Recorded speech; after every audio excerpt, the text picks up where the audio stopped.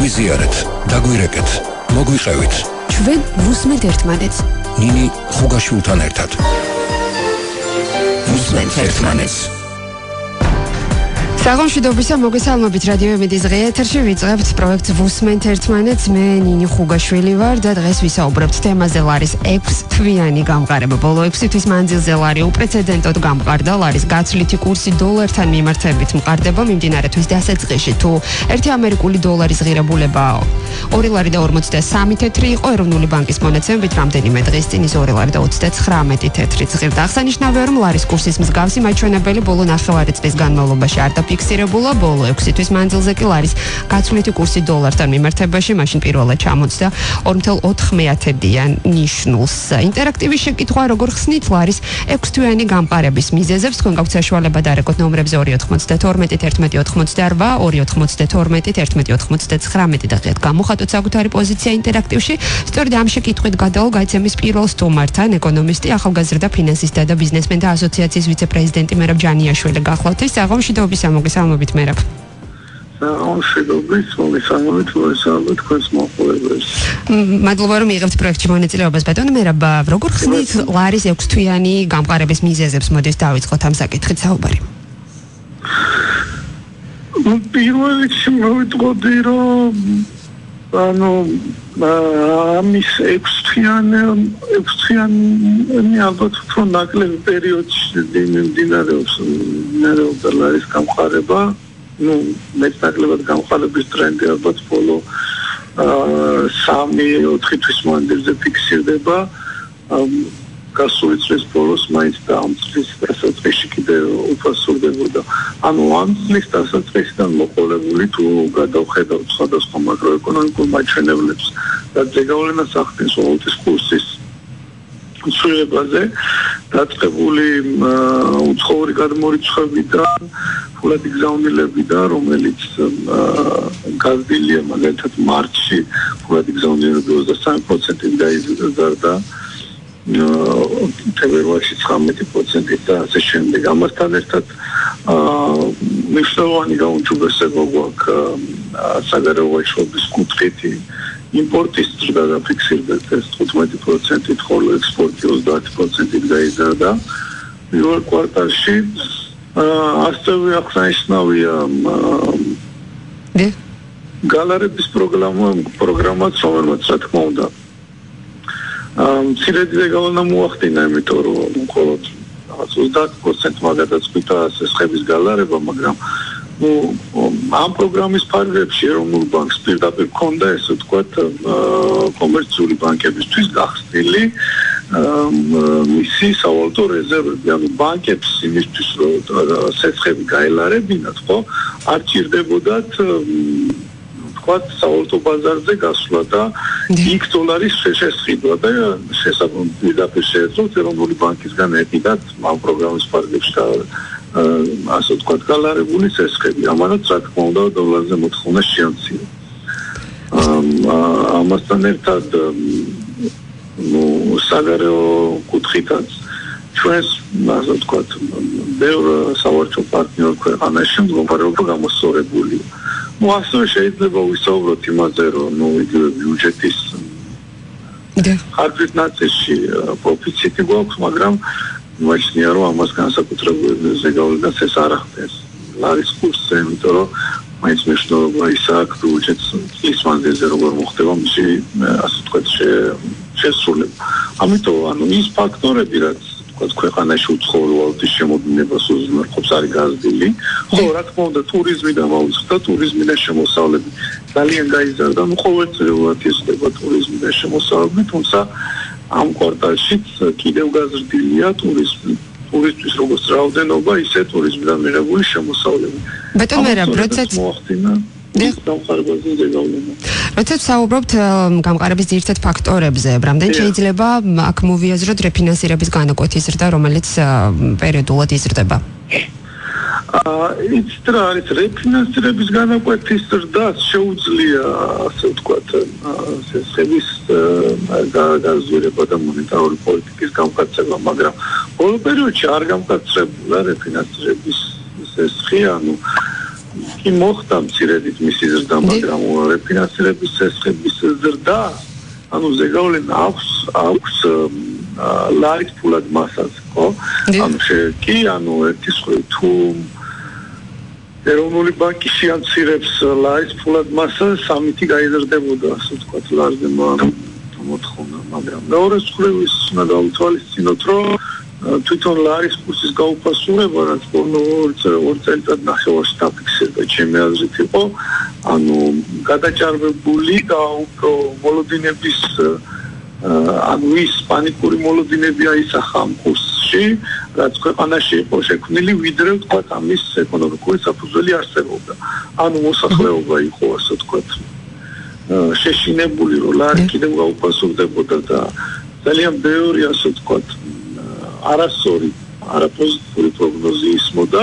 შეებავსად ანუ მოსახლეობა თავს იკავებდა მათ ხელსაწყობილი უცხოელობის გაყიდვისგან და პირიქით ნაცვლობდა უცხოელობის შესაბამისად ლარი გაუპასურდა იმაზე მეტად ვიდრე ამის ეკონომიკური საფუძველი არსებობდა და ამასთან აღნიშნავ რომ ეროვნული ბანკი არ ჩაერია ამ პროცესების შეჩერებაში და შედეგად მივიღეთ ის რომ დოლართან მიმართება შორი და 75 გავიდა ლარის კურსი და შესაბამისად წლის დასაწყისში როდესაც უკვე სიტუაცია ცოტა დაწყნარდა და ანუ როგორც კი დიდ გამხარდა ლარის კურსი ასე ვთქვათ გამყარების ტენდენცია წავიდა შემდეგ უკვე ანუ მოლოდინები ახლა ხო რადიკალურად შესულია არა ლარის კურსთან მიმართებაში და აღარავინ ელოდება იმას რომ ლარი გაუფასურდება ბატონო საბამსად ის საპირისპირო მოლოდინები გეცდა და ახლა არის წავიდა გამხარების მიმართულებით.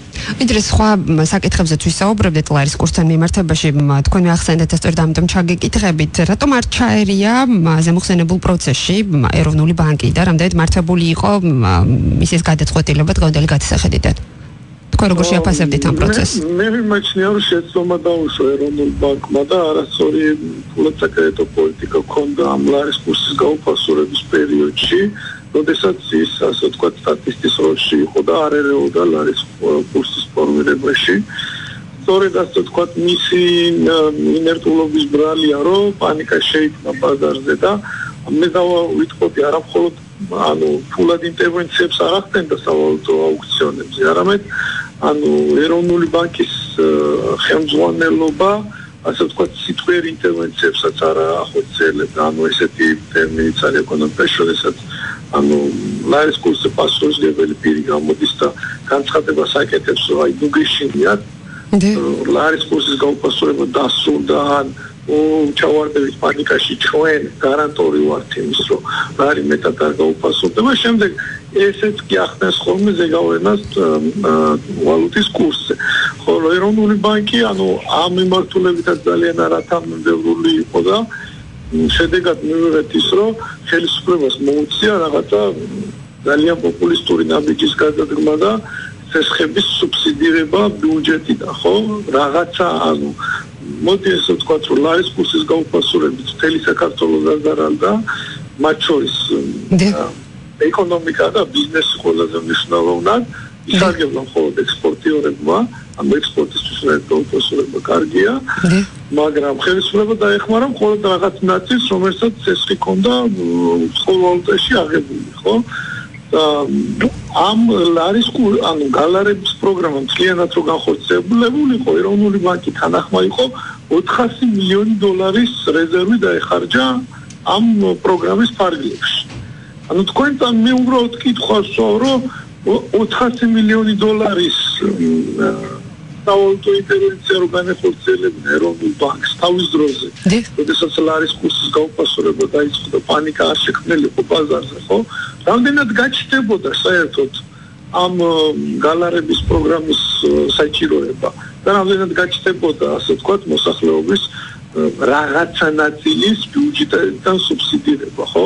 იმიტომ რომ ესეთი მსხვილი სავალუტო რეზერვის დახარჯვაზე თუ თანახმა იყო ეროვნული ბანკი, ხო? მაშინ მნიშვნელოვან ზეგავლენას მოახდენდა ის ლარის კურსის გაუფასურების ტემპში თუ ყველაფერს მინიმუმ სულ მინიმუმ ტემპის გაუგო შემაიც მოახდინა ზეგავლენას მაშინ გვესმოდა როდესაც ლარი უფასურდებოდა ცენტრალური ბანკის მხრიდან რომ ისინი არაპირებენ სავალუტო რეზერვის ხარჯვას და ამით ასე თქვა ამ სავალუტო რეზერვების წყალში გადაყვას და შემდეგ ისე გამოვიდა რომ რადგან რეზერვები არ დახარჯეს ისეთი შედეგი მივიღეთ თანახმანი იყვნენ თანახმანი გახდნენ რომ რეზერვების დაეხარჯათ და წაში გადაეხარათ ეს რეზერვები ბანკი. და ამასთან ერთად ინფლაცია გაიზარდა და ინფლაციის დის გამო მონეტარული პოლიტიკის გამკაცებაც მოგვიწია და ანუ როდესაც პრობლემის წარმოშობა სათავეში არ ვებრძოლეთ ხო? შედეგად მის შედეგებთან ბრძოლა უფრო გაუჭირდა და უფრო მეტი ზიანი მოგვაყენა. მე რა ამ საკითხთან დაკავშირებით ბოლო შეკითხვას გადაგისვამ და შემდგომ უკვე სხვა თემებზე გადავალ თქვენი აზრით მაინც როგორ ფიქრობთ რა იდგა ეროვნული ბანკის ამ ქმედების თუ უმოქმედობის უკან? რა იყო მთავარი მოტივი? იყო ეს პოლიტიკური განწყობა? თუ ხედავდით სხვა მიზეზებს ძალიან გამიჭირდება ამაზე საუბარი ახლა ნუ არ მსუსო რაღაცა პოლიტიკური რაღაცა შეთქმულებებზე ვისაუბრობ მაგრამ ფაქტია რომ ან წლებია მიდის რაღაცა ერთაკითხი აპელირება და ეროვნული ბანკისგან ასოს ითხოვს საზოგადოება რომ თქვა რატო არ ჩაერია ამ პროცესების შეშერებაში რატო ახდენს რეფინანსირების ესების ზრდას ამის პარალელურად რატო ახდენდა შესაბამისად ამაზე პასუხი მე არ მიმერია და ეროვნული ბანკის წარმომადგენლები რა ეთერშიც იყვნენ ეს კითხვები გაუწეს ვერსად ადეკვატური პასუხი ვერ მოუსმენ. გასაგებია. ამიტომ ძალიან გამიჭირდება ამაზე საუბარი რა იყო მათი, ასე ვთქვათ, გასაგებია, ბატონ, მე თქვენი საუბრეთ ლარის გამყარების ძირითად ფაქტორებზე, რამაც განაპირობა ბოლო პერიოდის განმავლობაში ჩამოთვალეთ რამდენიმე მნიშვნელოვანი ფაქტორი. ეს ფაქტორები შეიძლება აღვქვათ როგორც ინდიკატორებად ლარის გამყარების? კი, რა თქმა უნდა, ანუ თუ ანუ აქ ხო ანუ მარტივია რომ ლარის კურსის ცვლილებას განაპირობებს ის თუ რა რაოდენობით უცხოური ვალუტა შემოვა საქართველოში. ну რა თქმა უნდა თუ რაღაცა განსაკუთრებულად არ გაიზარდა საქართველოში ადგილობრივი ვალუტის რაოდენობა.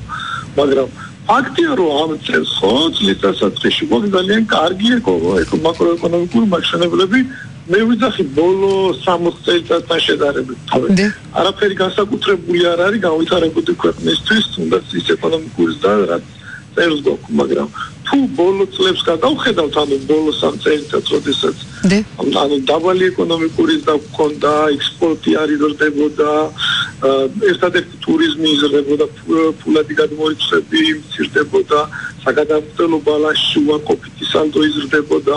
შესაბამისად ეს იწევდა ანუ უცხოურ ვალუტაში დანაკლის და ამასთან ერთად 2016 წელს კერძო სექტორს უწევდა საკმაოდ დიდი რაოდენობის საგარეო ვალის გადახდა, რაც 2016 წელს ასე ვთქვათ მორჩენდა 2017 შედარებით ნაკლები საგარეო ვალის მომსახურება უწევთ. ამას დაემატა უცხოური ვალუტის შემოდინება, გაუნჯობესებული ეს მონაცემები. და შედეგად მივიღეთ ის რომ თქვა ლარის კურსი მყარდება ბატონ მერაბ დასაუბრის მიწურულს ბოლოს შეკითხვას დაგისვამთ როგორ ფიქრობთ პროცესი შეიძლება გაგრძელდეს გამყარების? და ასევე მაინტერესებს რა შეიძლება მოიტანოს შედეგად სწორედ ასე მართულმა პროცესმა გულისხმობ ლარის გამყარებას. ანუ რას რას უნდა ელუდოს ნებისმიერი მოქალაქე ამ პროცესისგან? გნებავთ დადებით თუ არის ვარყოფითი გნებავთ თუ არ ყოფით ანუ მე მიმაჩნია რომ ლარის კურსის გამყარების ტენდენცია ინფლაცია კიდე გაგრძელდება, მაგრამ რამდენად არ ვიცი, ვერ გეტყვით, ან მაგალითად დღეს იქით გაუფასურდა სტანდარტულად მოწოდება. 2.44-ია თითქმის და ხო, მაგრამ ანუ პრო გამყარების ტენდენცია აა შეიძლება კიდევ გაგრძელდება, იმიტომ რომ როგორც თქვი, ანუ მაკროეკონომიკური მაჩვენებლები წლის დასაწყისში დადებითია, თუმცა რა რა დონემდე გამყარდება, ამის თქვა გამიჩირდება. და შეიძლება გამყარების შედეგად მიღებულ ასე ვთქვათ. დე. მოვლენებს ეს არის, ანუ ლარის გამყარება იწევს იმას, რომ ერთის მხრივ აძვირებს ექსპორტს, ანუ ექსპორტიორებისთვის ეს ცუდია და მათ პროდუქციას უძვირებს, მაგრამ მეორე მხრივ აიაფებს იმპორტს. და იმპორტიორებისთვის ასე ვთქვათ, კარგია. გამომდინარე იქიდან, რომ ჩვენი ქვეყნის ეკონომიკაში იმპორტ-ექსპორტის ბალანსი, იმპორტის სასარგებლო სადღაც 25-35-დია, ხო? შესაბამისად, ანუ პროდუქტების უმრავლესობა საქართველოს ბაზარზე არის იმპორტირებული. აქედან გამომდინარე, თუ კონკურენცია იქნება სხვადასხვა ასე ვთქვათ ბაზრებზე უფრო კონკრეტულად უნდა გავიხსენოთ მაღალი ლარის კურსის გაუფისურება გამოიწვევს გამყარება უფრო სწორედ გამოიწვევს იმას რომ გარკვეული პროდუქტები იმპორტირებული პროდუქტები გაიაფდება ესე იგი უღრმესი მადლობა. პირველ რიგში ნავთობი მე იმედი მაქვს ძალიან დიდი მადლობა. მერაბ ჯანიაშვილი ეკონომისტი ახალგაზრდა ფინანსისტთა და ბიზნესმენთა ასოციაციის ვიცე-პრეზიდენტი საუბრობდა ეთერში. დღეს საუბრობ თემაზე ლარის გამყარების შესახებ და ეს ტენდენცია უკვე თვეა თითქმის გრძელდება. კაცემის მეორე სტუმრად ისაუბრებს სულ რამდენიმე წუთში რეკლამის შემდეგ. ეკონომისტი ვახტანგ ჯარაია. მერაბ ჯანიაშვილმა ისაუბრა ლარის გამყარების ძირითად ფაქტორებზე ძირითად ინდიკატორებზე და გავეცნეთ ასევე მისგან მრღეობის შედეგებს როგორც ნეგატიურს ასევე დადებითს სულ რამდენიმე წუთში რეკლამის შემდეგ დავბრუნდებით ღეთერში. გაგვიზიარეთ, დაგვირეკეთ, მოგვიყევით. 292 11 88 292 11 99 უსმენთ ერთმანეთს საღამოშიდობისა მოგესალმებით კიდევ ერთხელ ღიეთერში განვაგრძობთ მუშაობას თემით ლარის 6 თვიანი გამყარება. საინტერესო როგორ ხსნით დავეთ თქვენ ლარის 6 თვიანი გამყარების მიზეზებს, რა არის მისი ძირითადი ფაქტორები? შეგიძლიათ ისაუბროთ ღიეთ ეთერში ნომრებზე და არაკვით 292 1188 1199 ლარის გაცვლითი კურსი დოლართან მიმართებაში მყარდება მიმდინარე თვის დასაწყისში თუ ერთი ამერიკული დოლარის ღირებულება 2.53 მიასედი იყო ეროვნული ბანკის მონაცემებით პარასკევს მან 2.20 19 მიასედი შეადგინა, რაც აღსანიშნავია, რომ ბოლო 6 თვის მანძილზე ლარის კურსთან მიმართებაში დოლარის დოლართან მიმართებაში ლარი პირველად ჩამოწდა 2.4-დან ნიშნულ საინტერესო რა მოსაზრებები აქვს ამ თემაზე. ეკონომისტ ვახტანგ ჭარაიას თბილისის სახელმწიფო უნივერსიტეტის ანალიზისა და პროგნოზირების ცენტრის დირექტორს. აღმშვიდობისა მოგესალმებით ვახტანგ. მოგესალმებით, დიდი მადლობა თქვენთან მოწვევისთვის რადიოში. მადლობა რომ იღებთ გაიცემაში მონაწილეობას. ვიდრე ვისაუბრებდეთ იმ ფაქტორებზე, რომლებმაც თქვენი აზრით განაპირობალ არის ამ პერიოდში გამყარება, საინტერესოა ზოგადად როგორ ყალიბდება ვალუტის კურსი და თუ შეიძლება ძალიან მოკლედ ყველასათვის გასაგებ ენაზე გითხარით. კი ბატონო ძალიან მარტივად რო ვთქვათ საქართველოს დღეს გააჩნია მცურავი გაცვლითი კურსი თუმცა მცურავი მას პირობითად ქვია ანუ ეს იმას ნიშნავს რომ კურსი არ არის ხელოვნურად დადგენილი. ანუ არავინ არ ზის და რადგან ეს ხელოვნურად რო დღეს კურსი იყოს 2.40 თეთრი ყავ იყოს 2.45 თეთრი. არამედ ყალიბდება ბაზარზე არსებული მდგომარეობის მიხედვით უცხო ვალუტაზე მოთხოვნისა და მიწოდების მიხედვით. შესაბამისად ლარის კურსზე გავლენას ახდენს ლარი დოლართან მიმართებაში რომ განვიხილავთ, რა თქმა უნდა, აა გავლენას ახდენს ყველა ის ფუნდამენტური ფაქტორი, რომელიც ლარისა და დოლარის წონასწორობას განაპირობებს ეკონომიკაში. აქ უნდა გავითვალისწინოთ, რომ აა ლარი, როგორც ესეთი ლარის გასული კურსი დგინდება მხოლოდ დოლართან მიმართებაში, ხოლო დანარჩენი უცხოური ვალუტები უკვე არის ლარისა და დოლარის გასული კურსიდან გამომდინარე მიღებული კურსი. ანუ ის რომ პირობთან ქვეყანაში იყოს ევროზე ძალიან მაღალი 4 თხოვნა ეს ავტომატურად არ განაპირობებს ევროს კურსის გამყარებას ლარისადმი. რატომ არის პრიორიტეტული დოლარი ამ შემთხვევაში მაშინ ძალიან ლოგიკურია. ეს საერთაშორისო პრაქტიკაა და საქართველოს ამ მიდგომას იყენებს, თან ჩვენი ეკონომიკა მოგეხსენება დოლარიზებულია დაახლოებით 2/3-ით, შესაბამისად დოლართან ამ გაცვლითი კურსის ფორმირება ყველაზე უფრო ისეთია ოპტიმალურია და მისადგებულია საქართველოს ეკონომიკისთვის. თუმცა ჩვენ შეგვიძლია პირობითად თეორიულად შეგვიძლია თუნდაც იგივე ევროსთან იქნება ეს რუბლთან თუ სხვა ვალუტებთან პირდაპირ კურსი დავამყაროთ, მაგრამ აა ნუ არ არის ამისი საჭიროება რეალურად, იმიტომ რომ მათი წილი ჩვენი ქვეყნის სავალუტო ესე ვთქვათ სტრუქტურაში რომ განვიხილოთ ძალიან მცირეა და ანუ აზრი არ აქვს ეს თალკეული ქვეყნების მიხედვით ამ კურსის დადგენას.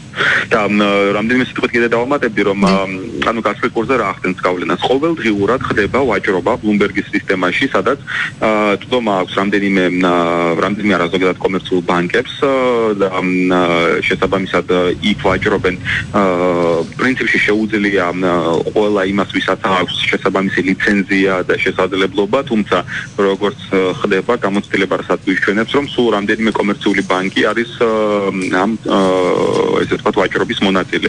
და ხდება რომ ყოველდღურად ბანკების ვაჭრობის შედეგად ეროვნული ბანკი იღებს თავის ესე ვთქვათ ინტერვენციასაც თუ ის ხედავს რომ კურსი ძალიან გარბის ერთი ან მეორე მიმართულებით მას შეუძლია ჩაერიოს სავალუტო ინტერვენციების გზით და შესაბამისად დაარეგულიროს ეს კურსი.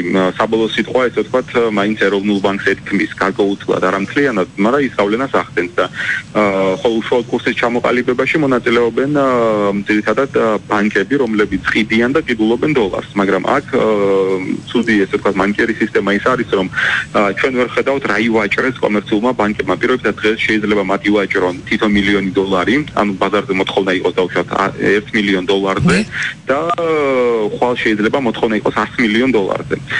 ჩვენ ვერ ხედავთ აი ამ თანხების რა მოცულობის თანხებზე ესე ვთქვათ საუბარი და შესაბამისად როდესაც ეს ინფორმაცია დაფარულია ჩვენ არ გვაქვს იმის შესაძლებლობა ზუსტად ვიმსჯელოთ იმაზე ეს კურსი იყო არის ობიექტური დღევანდელი ეკონომიკური რეალობის თუ უბრალოდ იმიტომ რომ რომელიღაცა კომპანიებს არ ჭირდებოდა დოლარი თუ იმიტომ რომ პირიქით მათ ვიღაცას ჭირდებოდა ამიტომ ჩამოყალიბდა ეს კურსი. ანუ ტრანსპარენტულობა აკლია ამ კლიენტ სისტემას საინტერესო შეიძლება თუ არა ამ ფაქტორებთან ბოლო ფაქტორთან ეს თქვენ საუბრობდით რა არის ამის უარყოფითი და მანგიერი მხარე რამდენ შეიძლება განვიხილოთ ბმაში ლარის ბოლო პერიოდ ბოლო რამდენიმე თვის განმავლობაში გამყარების ტენდენცია ესეთი მოსაზრება არსებობს და მეც ამ მოსაზრებასაც э, ვიზიარებ ნაწილობრივ, რომ э, მოიხსენება წელს საქართველოს აქვს გასასტუმრებელი დაახლოებით 5 მილიარდამდე დოლარი საგარეო ვალი. ნუ 4.5-დან 5 მილიარდამდე.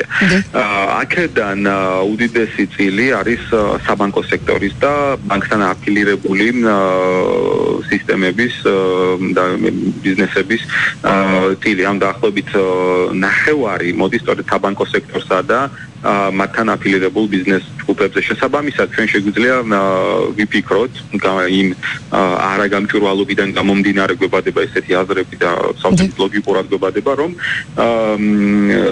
დღეს ხდება ხელშეწყობა შედარებით ლარის გამყარების იმიტომ რომ დაბალი კურსით შემდგომ იქნა შეძენილი ეს უცხოური დოლარი რომელიც ჭირდება ჩვენს ბიზნესს მათ შორის კომერციულ ბანკებს არა მხოლოდ კომერციულ ბანკებს თავიანთი საგარეო ვალდებულებების გასასტუმრებლად სინათლეს თუ შევადარებ საგარეო ვალდებულებებს სინათლეში დაახლოებით მილიარდის დონეზე იყო საგარეო ვალდებულება უცხოურ დოლარში. წელს კი როგორც გითხარით 5 მილიარდამდე აღწევს ეს თანხა. შესაბამისად ამ თანხების გასტუმრება არ ამგონია რომ კომერციულ ბანკებს და სხვა ბიზნესებს აწყობდეთ მაღალი კურსით ანუ როდესაც დოლარი ღირს პირობითად 2.5-იან 3 ლარი ანუ მაღალ კურსს ამას გულისხმობ. მათ აწყობთ რომ რაც შეიძლება გამყარებული ლარის პირობებში იყიდონ დოლარი იმიტომ რომ უფრო მეტი დოლარი მოუვათ თავის ლარში. შესაბამისად, ისინი შეძლებენ უფრო იაფად გადაიხადონ თავიანთი საგარეო ვალდებულებები. მაგრამ ამას ყველაფერს რა მოსდევს, რომ დღეს რომ კურსი მყარდება და რომ ამას ამის შესაძლებლობას მას ადლევს ჩვენი ეკონომიკა, მათ შორის ძირითადად საბანკო სექტორის გავლით, კიდევ ერთხელ გავიმეორებ, ეს არნიშნავს, რომ მთელი წლის განმავლობაში ლარი იქნება გამყარებული და გავსი ტრენდით განპირობებული პირიქით. დღეს ეს კურსი, როდესაც მყარდება და როდესაც საგარეო ვალდებულებებისაც გააჩნიეს წინ დაინახავენ რომ აი კაი კურსი და კარგი კურსი ესე ვთქვათ არის. ისინი როდესაც მოახდენენ თავიანთი ესე ვთქვათ თავის საჭირო დოლარების შეძენას კურსი ავტომატურად გაფუჭდება და შესაბამისად ლარი ისევ გაუფასურდება ისევ დევალვაციას ეკნება ადგილი. ანუ მთლიანობაში ისე თქვა მინდა რომ ის რომ დოლარი ლარის კურსი მყარდება დოლართან მიმართებაში გარკვეულწილად არის გამპირობებული იმ ობიექტური ფაქტორებით რომ ლარის გაუფასურება ამ წუთას არაწყობს ბიზნესს ბიზნეს დიახ და ბიზნესს როდესაც ეს არ აწყობს შესაბამისად ის ცდილობს რომ მაქსიმალურად ნაკლებად ჩაერიოს იმ ხრივ რომ ლარი არ გაუფასუროს და როდესაც ლარი კარგი გამყარებული კურსით იქნება შესაბამისად მაგ დროს იყიდოს თავისი უცხოური დოლარი. თუ აქვს პირობითად 1 მილიონი ლარი დაუშვათ უფრო გამყარებული კურსით იყიდის უფრო მეტ დოლარს ვიდრე გაუფასურებული ლარის პირობებს შესაბამისად ეს არის მათი мотиваცია.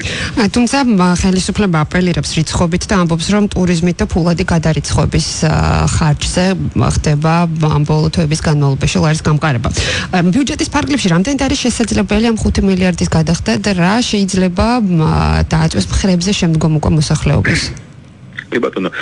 მთავრობა რასაც აპელირებს იგივე ფულად იგზავნილების და ტურიზმის სახით, ტურიზმზე ჩვენ ჯერ აბსოლუტურად არ გვაქვს მონაცემები, რამდენი თანხა შემოვიდა შესაბამისად ამით манипулირება არ ამგონია მართალი. კი, უფრო მეტი ტურისტი შემოვიდა, ვიდრე შარშანამანაუგიურ პერიოდში. დაახლოებით 13%-ით მეტი ოფიციალური ინფორმაციით. მარტო ტურიზმიდან მიღებული შემოსავალი ვერ განაპირობებს ლარის გამყარებას, იმიტომ რომ უამრავი ფაქტორია აქ ჩართული. რაც შეეხება ფულად გზავნილებს, თუ რამდენიმე 10 მილიონი დოლარი გაიზარდა ფულად გზავნილები, შესაბამისად ვერც ეს ვერ იქნება სად 5 მილიარდი რო ვალი გვაქვს და სად 20 და 50 მილიონით მეტი დოლარი რო შემოვა, ანუ ესეც ვერ განაპირობებს ესეც თალსახად ლარის გამყარებას.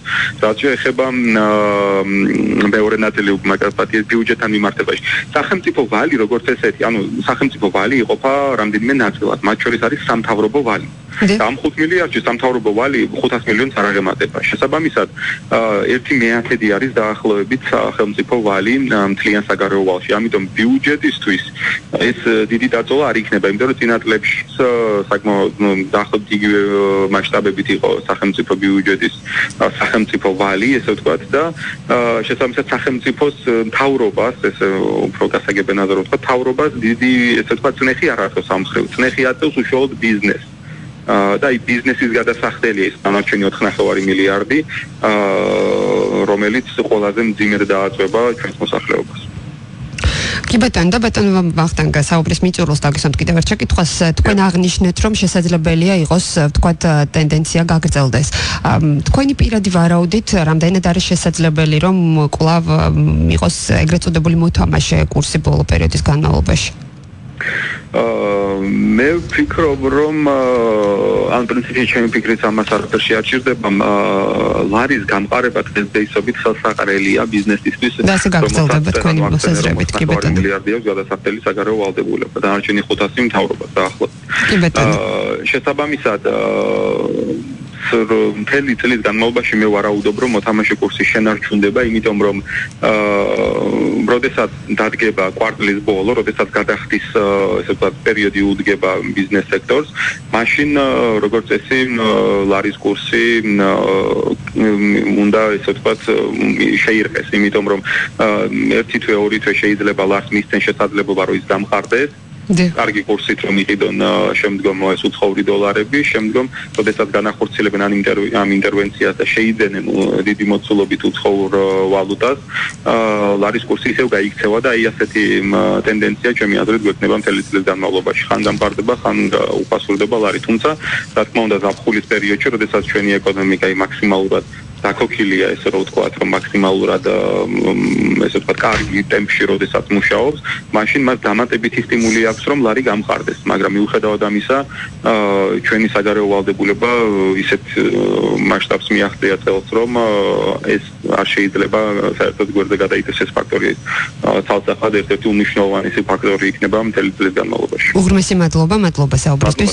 ვახტანგ ჭარაია ეკონომისტი თბილისის სახელმწიფო უნივერსიტეტის ანალიზისა და პროგნოზირების ცენტრის დირექტორი საუბრობდა. თქვენ გაქვთ საშუალება დარეკოთ ნომრებზე 292 1188 292 და მიიღოთ ინტერაქტივში მონაწილეობა. საინტერესოა როგორ ხსნით ლარის ექვსთვიანი გამყარების მიზეზებს. რა არის ძირითადი ფაქტორები? ჩვენ შეგვიძლია უკვე მოვისმინოთ მსმენელის პოზიცია ღია ეთერში ნომრებზე 292 1188 292 1189. საღამოშიდობისა მოგესალმებით თქვენ ღია ეთერში ხართ. საღამოშიდობის და კალბატონინი. მოგესალმებით. რაც შეეხება ლარის გამხარების სიტუაციას, ეს უფრო უარყოფითი მხრიდან არის ვიდრე დადებითი, იმიტომ რომ დადებითი მხარე ერთადერთი აისახება იმაში, რომ ტურისტების რაოდენობა ეხლა მოაწყდება სახელმწიფოს არჩევნებამდე და თავისთავად ხადია, რაც უფრო მეტი ვალუტა შემოვა, ეცდებიან მით უფრო ნაკლებ კურსით მისცენ ტურისტებს ლარი, იმიტომ რომ მაგ მოგებაში უცენო თუ რობერი დოლარი კონდეს და ევრო ვიდრე ლარი ხო სხვა დანარჩენი ახლა უარყოფითი იმაში იმიტომ რომ თუ აქედან ემიგრირებული მოსახლეობას ნაწილს ემატება კიდე ახალი იმიგრაციის სახე რომლებიც ვიზა ლიბერალიზაციის სარგებლობენ და ისინი გზავნიან სახელმწიფოში ვალუტას ვალების საშიშულო ვალების გადასახდელად თავისთავად ხადი ეს არის ცუდი. უკვე ცუდია იმიტომ კიდე რომ ჩვენ ვიცით რომ დემოგრაფიულ საკითხებთან მიმართებაში სახელმწიფოში ჟურნალისტებმა გააქვთ ყურადღება ფინანსშენებლობიდან გამომდინარე შემოყავს ისა აზიელები ტურისტული ეგიდით და ჩვენ ახალაშენებულ უფლებასდამძლო დეველოპერების ვინებს რომლებიც უკაცლებით უფრო იაფასიან და მისთვის ხელისაღები 30000 დოლარიდან ზევით ყიდულობენ ისინი რითაც მათ გარანტირებული აქვს საქართველოს მოქალაქეობა რომ მე ვიზალებელს ისარგებლონ და ეს შემოსული ფული თავისთავად ხადია ჯერ გადადის ლარში და ლარის შესყიდვის შემდეგ მე ეს მიდის ბიზნესმენის ჯიბეში. აი ეს ნეგატიური მოვლენები უწვის მას და მასთან ერთად როგორც გიახუხაშვილი ძახის ეს არის სეზონური. ანუ ახალი წლის და შობის ესასწაული სადაც ემიგრაცია გზავნის დიდი რაოდენობის ფულს და ასევე ამას დაემთხვა მე ეს აღგომის და პასკის და წითელი კვეთკის დღესასწაული რომლის დროსაც ასევე მოსახლეობის ემიგრირებული ნაწილი საკუთარი დატოვებული ნაცნობების გადასაჭინად კიდევ ერთი ინდექს ზამის სანამ მას ტურისტული ბიზნესი ჩაინაცვლა მაგრამ როგორც კი მივადგებით არჩევნებს აი ნახავთ როცა ხელისუფლება გამოყრის მოსახლეობის მოსასყიდად ლარ როგორც შარშან იგივე სიტუაციას მიიღეთ იმ დროს არის აქსიომა. სახელმწიფოში არ არის ექსპორტის დიდი რაოდენობა იმიტომ რომ ეს არაცხოს ადგილობრივ იმპორტიორებს. ამიტომ არის ესეთი სინუსოი და ლარის. აიწია აიწონა დაიწონა აიწონა დაიწონა რაც და მხოლოდ ჩარჯ ბიზნესმენებზე, პოლიტიკოსებზე და სახელმწიფოს მოღვაწეების სასარგებლოდ მუშაობს. ასე გებია. უღრმესი მადლობა დაკავშირებისთვის, მადლობა ინტერაქტივში მონაწილეობისთვის. 292-11-92-11-99 გახლავთ ტელეფონის ნომრები ინტერაქტივისთვის განკუთვნილი, რაც შეეხება შეკითხვას. საინტერესო თქვენი მოსაზრება, როგორ ხსნით ლარის 6 თვიანი გამყარების მიზეზებს. ოფიციალური ინფორმაციით გამყარების საფუძველი წლის დასაწყისში ეკონომიკაში მიმდინარე დადებითი პროცესები გახლდათ, მაგალითად ზრდა დაფიქსირდა ფულადი გადმორიცხობის კუთხით, იმპორტი გაიზარდა 15%-ით, ექსპორტი 30%-ით, მარტში უცხოეთიდან ფულადი გზავნილები 23%-ით არის გაზრდილი, რაც თებერვალთან შედარებით 19%-ით ზრდა. ყველაზე მეტი უცხოური ვალუტა, როგორც ნობელი აკადემიის ხარ რუსეთიდან 38 მილიონი დოლარის ოდენობით, აქვე აღსანიშნავია ტურიზმის სექტორიც, რომელიც ქვეყანაში სავალუტო შემოდინებების ერთ-ერთი მნიშვნელოვანი წყარო გახლავთ 2016 წელი და 2017 წლის დასაწყისი განსაკუთრებით წარმატებული აღმოჩნდა ტურიზმის ეროვნული ადმინისტრაცია ადმინისტრაციის სტატისტიკის მიხედვით, როგორც ტურისტების რაოდენობის ზრდის თვალსაზრისით, ასევე ტურიზმიდან მიღებული სავალუტო შემოდინებების მიმართულებით. კერძოდ 2017 წლის მარტის მონაცემებით საქართველოს 511045 საერთაშორისო მოგზაური ეწვია, რაც იყო 13.1%-ით მეტი წინა წლის ანალოგიურ პერიოდთან შედარებით, ასე შეიძლება ითქვას, რომ სესხების გალერების შედეგად იმ ადამიანების რაოდენობა შემცირდა, ვისაც სესხები ჰქონდა დოლარში, შესაბამისად შესაძლოა ვივარაუდოთ, რომ დოლარზე მოთხოვნას გარკვეულწილად შემცირებულია გასულ პერიოდთან შედარებით. ყველაფერთან ერთად, როგორც აღნიშნავენ დოლარის გამყარების მთავარი ინდიკატორად სახელმწიფო ბიუჯეტის გადაჭარბების შესრულება მიიჩნევა, მაგალითად, ფინანსთა სამინისტრომ ბოლო 10 წლის განმავლობაში პირველად 2017 წლის პირველ კვარტალში სახელმწიფო ბიუჯეტში 1 მილიარდ დოლარზე მეტი შემოსავლების მიღება მოახერხა გადაჭარბებით შესრულებულმა ბიუჯეტმა კი განაპირობა მიმოქცევაში არსებული ლარიდან 1 მილიარდი ლარის ფინანსთა სამინისტროს ანგარიშზე მობილიზება, რამაც ბუნებრივია თავისი ზეგავლენა იქონია ლარის გამყარების პროცესში. ასეთია მიზეზები, მოსაზრებები ლარის კურსის გამყარებისა, გაცემაში დღეს საუბრეს ეკონომისტებმა მერაბ ჯანიაშვილმა და ვახტანგ ჭარაიამ საკუთარი მოსაზრებებით და რაც შეეხება გაცემის დასკვნით ნაწილს, სწორედ გავიგებთ, ვინ არის ამ კურსის ბენეფიციარი, როგორც მოგეხსენებათ, ვიჰელპჩისთან ერთად რადიო იმედი ახორციელებს ერთობლივ საქველმოქმედო კამპანიას. უსმენთ ერთმანეთს მაშასე მეგობრებო ჩვენ ამ კვირაში ვეხმარებით 55 წლის ნინო ჭიღიტაშვილს მას აქვს ავთვისებიანი სიმსივნე და პოსტოპერაციული მკურნალობა ესეჭიროება რომელიც საერთო ჯამში ჯდება 1400 ლარი ეს არის თანხა რომლის მობილიზებაც არის აუცილებელი იმისთვის რომ მოხდეს პოსტოპერაციული მკურნალობა რადგან ოპერაცია ამ შემთხვევაში უბრალოდ აზრს კარგავს. თქვენ შეგიძლიათ დარეკოთ ნომერზე 0917108082 არის ღირებულება გახავთ 1 ლარი კიდევ ერთხელ გავიმეორებ. ნომერს 0917108082 და ამ კვირაში განხორციელებული ყოველი ზარიდან ყოველი ლარი გადაირიცხება. 55 წლის ძალიან ახალგაზრდა ქალბატონის გამოსაჯანმრთელებლად თქვენ ასევე გაქვთ საშუალება ეძიოთ webguard www.help.gr მოიძიოთ ნინო ჭიღიტაშვილის ისტორია და ნებისმიერი ოდენობის თანხის ტრანზაქციით გაუწიოთ მას ფინანსური დახმარება. მე კიდევ ერთხელ შეგახსენებთ რომ თანხა არ არის დიდი საერთო ჯამში სულ 1400 ლარია შესაძლებელი და ვფიქრობ ერთობლივი მობილიზებით ერთობლივი ჩართულობით ჩვენ ძალიან მალე და დროულად შევძლებთ ამ ქალბატონის დახმარებას. უხრმესი მადლობა ყურადღებისთვის დღეისთვის ჩვენ კლავინდებურად ვიტოვებთ თქვენი თანადგომის იმედს. ეთერ სტუდიაში მუშაობდი ნინი ხუგაშვილი, გადაცემის პროდიუსერია დავით მაღლაფერიძე და მომავალ საეთერო შეხვედრამდე გემშვიდობებით. გაგვიზიარეთ, დაგვირეკეთ, მოგვიყევით. ჩვენ ვუსმენთ ერთმანეთს. ნინი ხუგაშვილთან ერთად. ვუსმენთ ერთმანეთს.